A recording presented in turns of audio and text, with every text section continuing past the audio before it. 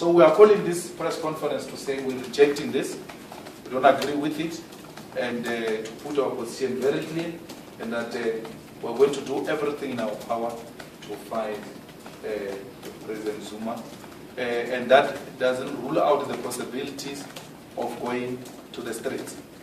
Uh, we, we, we, before you go to the streets, you don't have to act emotional. Uh, you have to consult your forces on the ground and whether they are prepared to take up this as their battle.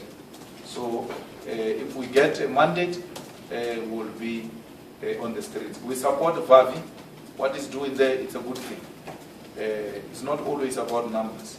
People have to stand up at some point. And Vavi has stood up.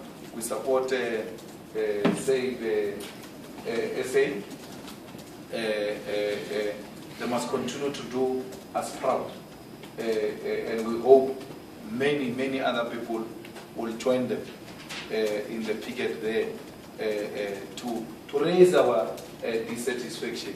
And if we all bring our numbers together, I think somewhere, somehow, they will.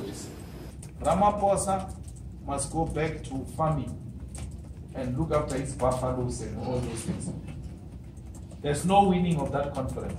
Zuma calculated the conference, consolidated, and then attacked. And it says, okay, if I touch the Communist Party, those people are going to resign en masse, and then it's going to embarrass me. Let me leave them. Why did he leave them? He knows that they don't use their brains to think, but they use their stomach.